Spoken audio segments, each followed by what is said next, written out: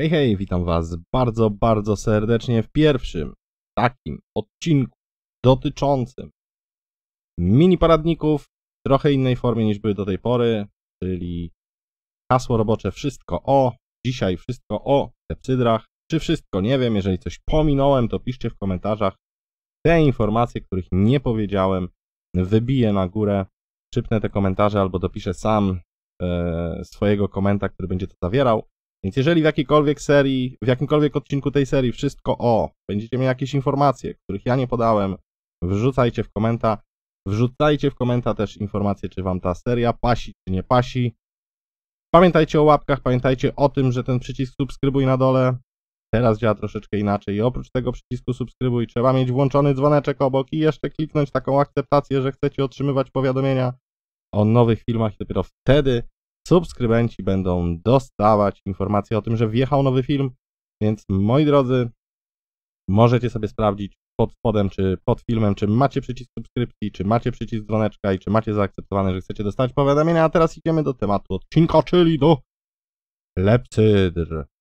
Klepsydr, moi drodzy, klepsydr, co to jest klepsydra? Klepsydra została dodana dość niedawno, patrząc na wiek trwania Shakesa, bo przez długi czas tej klepsydry nie było. Ona została dodana do gry. Mm, no i moi drodzy, klepsydra wygląda tak. Klepsydra wygląda też w grze tak samo tak. Co to jest ta klepsydra? No jak nam mówi forum, klepsydra jest nowym dodatkiem w grze, który wszedł wraz z aktualizacją Halloweenową kiedyś.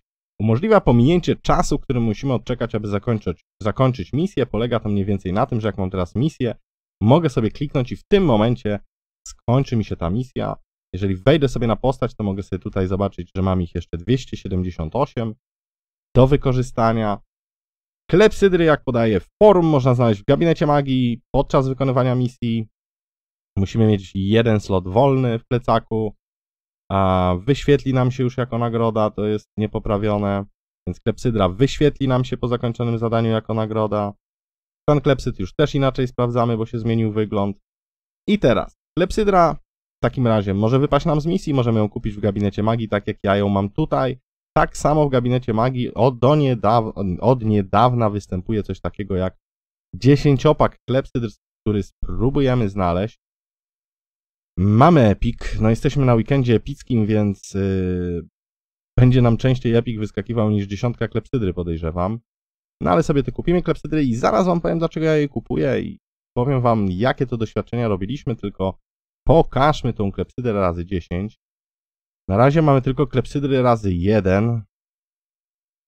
Gdzie są? Jest. Tak wygląda dziesiątka klepsydry. Ona kosztuje dokładnie 10 razy tyle, co jedna klepsydra. Więc tutaj nie ma żadnej promocji, żadnej obniżki. W taki sposób kupujemy sobie klepsydry, one tu nam dochodzą do konta. I jest fajnie, bo możemy sobie skracać misję. I to pokrótce jest tyle o klepsydrach, moi drodzy. Pokrótce, bo co jest jeszcze istotne? Według forum cena jednej klepsydry wynosi około jednej godziny warty bez bonusu. No i jeszcze jest istotne, że może nam wypaść czasem z koła, tak? Od doktora ABWW może nam wyskoczyć, jak będziemy sobie kręcić kołem. Klepsydra, możemy ją sobie wciągnąć, tak samo jak fiolki mogą wypaść, tak samo jak itemy mogą wypaść. Może wypaść też klepsydra. No i teraz co jest istotne? Kiedy tej klepsydry używać? Dla kogo ta klepsydra jest? Kto najbardziej z niej skorzysta? i tak dalej, i tak dalej. Forum podaje, że cena tej jednej klepsydry wynosi jednej godziny, około jednej godziny warty bez bonusu guild. Na co to się przekłada? Przekłada się to na to, że mnie ta klepsydra jednak kosztowała około 16 tysięcy w tej chwili i zaraz wam powiem za 30 sekund, jaką mam godzinę warty. Dosłownie za 20 parę sekund się dowiemy. Nie chcę marnować tej klepsydry, bo ona dla mnie jest inwestycją, o której wam zaraz opowiem. Tylko żeby był porządek, poczekajmy tą chwilkę, żeby zobaczyć tą godzinę warty. I zaraz Wam powiem o co kaman. Bo klepsydra jest doskonałym narzędziem dla osób, które nie mają czasu na grę. Załóżmy, jest dzisiaj, nie wiem, piątek. Idziesz wieczorem, wróciłeś ze szkoły, wróciłeś z pracy, idziesz wieczorem na imprezę, a szkoda ci tej awki. No to co robisz? No co robisz, mój drogi? U mnie teraz godzina warty 80 949. Oczywiście ta godzina warty ma uwzględniony bonus z wieży, czyli 63% bonusu z wieży. No i bonus z gildii, czyli w tej chwili e, 146% bonusu zwierzy. No i teraz y, z gildii. No i teraz gdybyśmy pomnożyli sobie cenę klepsydry, czyli te 16 tysięcy, które mamy, gdybyśmy sobie pomnożyli razy 6 w jakimkolwiek dowolnym polu, dlaczego razy 6, zaraz wam powiem, to wychodzi koszt 96 tysięcy. Tak? Tak. Warte mam za 80 tysięcy. Czyli załóżmy, chciałbym kupić 6 klepsydr, to za nie muszę zapłacić więcej niż godzina warty. Dlaczego to jest takie istotne? Istotne to jest dlatego, że klepsydra jest też nie tylko dla tych graczy, którzy chcą poświęcać mniej czasu na grę. Dlaczego? Bo standardowo, tak jak zacząłem, idziecie w piątek na imprezę, wróciliście z pracy, ze szkoły i tak dalej, no to zawsze lepiej te klepsydry użyć, niż nie zrobić zadań. Bo trzy paski to jest podstawa dla każdego gracza, który ładuje grzyby. Jeden pasek to jest podstawa dla każdego gracza, który nie ładuje grzybów. Tym bardziej, jeżeli jeden pasek gracie, nie powinniście odpuszczać żadnego dnia, więc jeżeli jest taka sytuacja, że nie macie czasu, to te dłuższe misje sobie przeklikajcie klepsydrami i tyle. Natomiast co z graczami, którzy mają czas? Co z graczami, którzy myślą o swojej postaci poważnie, czyli tak jak ja się staram na każdym serwerze? Co z graczami, którzy myślą o długofalowej grze, czyli nie to, że wbiję sobie 250 i się podniecę i skasuję albo, albo przestanę grać, tylko będę grał do 400, 450 levela na przykład i jeszcze dalej. Co z takimi graczami? Czy dla nich też jest klepsydra? Oczywiście, że tak. Zawsze warto skracać misję klepsydrami w weekend golda. Moi drodzy, to jest podstawowa rzecz. Zawsze warto. Ponieważ warta wtedy daje wam większy bonus, tak? Bo warta też daje wam według weekendu golda więcej szmalcu. Na co to się przekłada? Przekłada się to na to, że używając te klepsydry w weekend golda i zamieniając ten czas, który oszczędziliście na wartę, wychodzicie do przodu, więc opłaca Wam się nawet kupować te klepsydry i wykorzystywać je w Weekend Golda, bo warta, którą nastawicie na ten czas, mm, kiedy zrobiliście sobie krótszą, krótsze misje, mniej czasu poświęciliście na zadania, ta warta zwróci Wam Golda tego i jeszcze zarobicie na tym. To znaczy, że w Weekend Golda wykorzystywanie klepsydr powoduje ulepszenie Waszej postaci, nawet tych kupowanych nawet tych kupowanych. Czyli jeżeli widzicie w sklepie klepsydrę, kupujecie ją, ale wykorzystujecie tylko Weekend Golda. I teraz pytanie, co dalej? Czy to tak faktycznie jest, że klepsydra opłaca się tylko w Weekend Golda? Zrobiliśmy testy. Zrobiliśmy, moi drodzy, testy na live. Pozbierałem dane z różnych poziomów, z różnych leveli. To są levele, to są ceny klepsydr, to są, e, to są wartości godzinnej warty, no a tutaj mamy po prostu wykonane dzielenie, w którym momencie zarabiamy, tak? Widzicie, że w sytuacji, gdzie jest 250 level, ten współczynnik zarobku to jest 1,05, czyli tracimy jeszcze 5%. Jak liczymy ten współczynnik? No po prostu. Godzina warty to jest 6 zadań 10-minutowych. Wrzucając 6 zadań 10-minutowych, zyskujemy godzinę, którą możemy przeznaczyć na godzinę warty. Więc jeżeli kupujemy sobie 6 klepsydr i wydajemy na nie 138 tysięcy, to e, godzina warty odda nam tylko 131 tysięcy. Czyli tak naprawdę skróciliśmy sobie godzinę gry, ale coś musieliśmy za to naszej postaci zabrać. Te 7 tysięcy w tym przypadku osłabiliśmy naszą postać.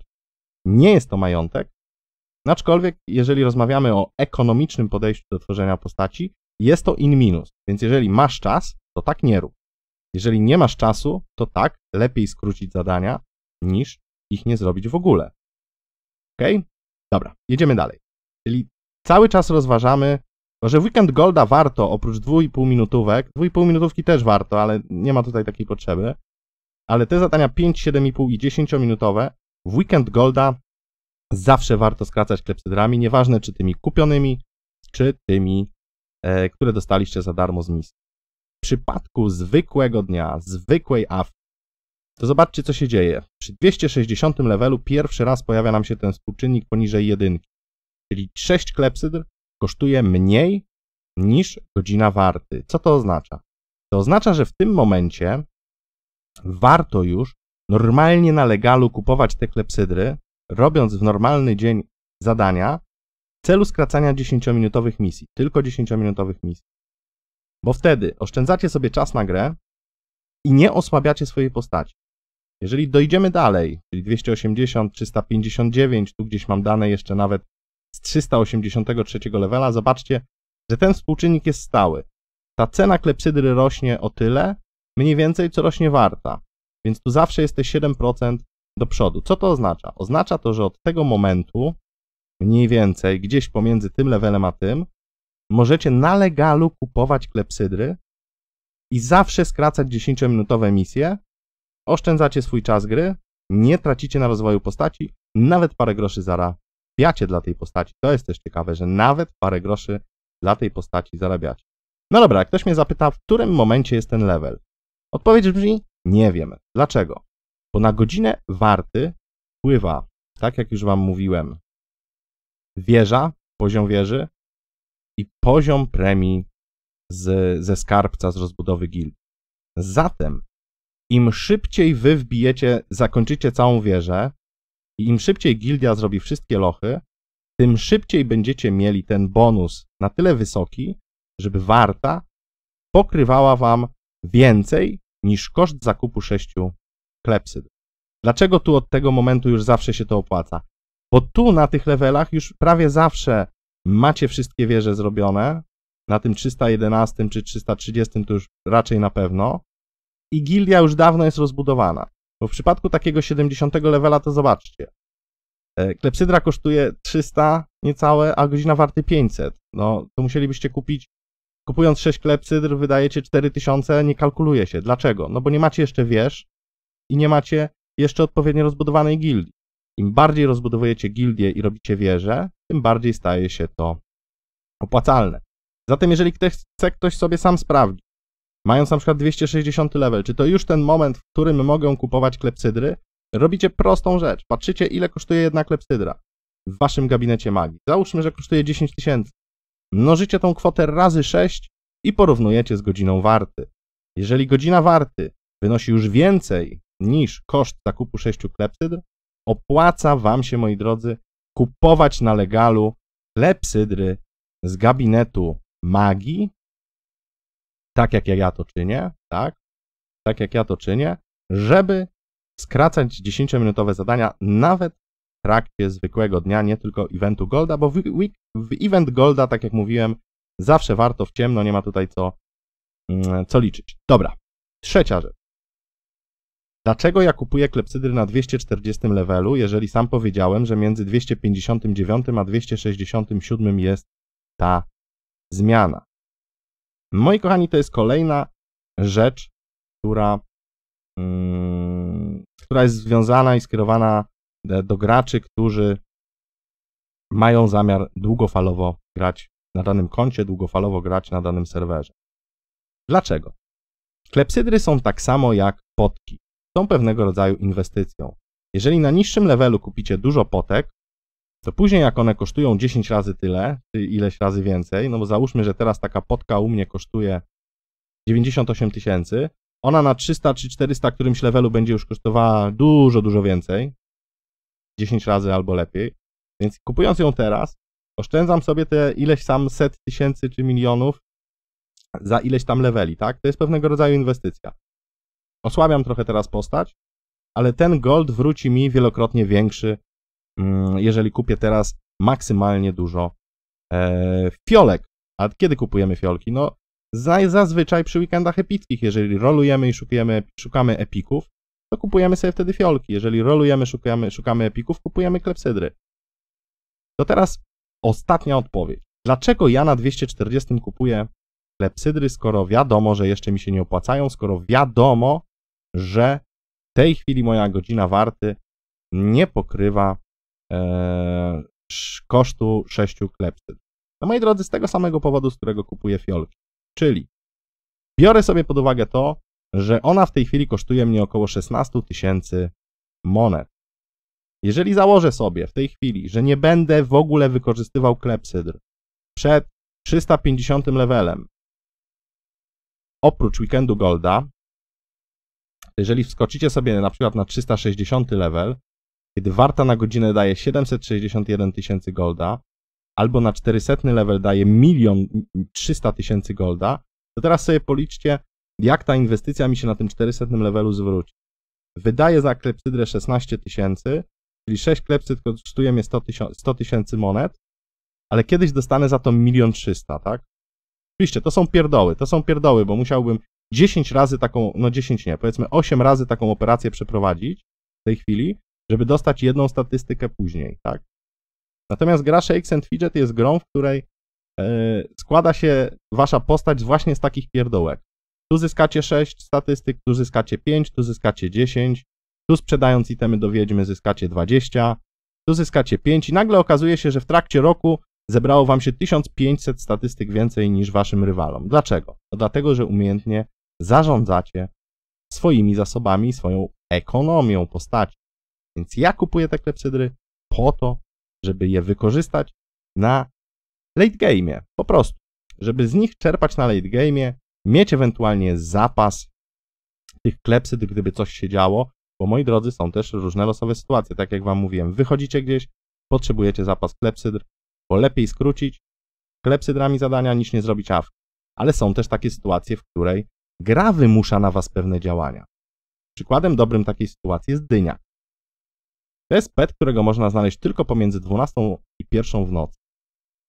W tak zwanej godzinie duchu. No i okej, okay, możecie standardowo sobie tą awkę robić i zrobić 60 minut tej swoich zadań, licząc, że traficie na moczary Mary. Ale generalnie nie chcecie codziennie po tej godzinie szukać tego peta, tylko chcielibyście mieć większą szansę na znalezienie go od razu. Więc włączacie sobie misję o godzinie 0000 i je po prostu skracacie klepsydrami. Przez to jesteście w stanie w trakcie tej godziny zrobić trzy paski, zrobić całe 300 minut awanturniczości i znaleźć tego dyniaka, tak? Więc te klepsydry służą też również nam do tego, żeby różne niespodzianki, które kryje gra Shakes and Fidget sobie ułatwiać, żeby codziennie nie szukać o tej pierwszej, tylko na przykład skrócić sobie wszystkie, wszystkie zadania.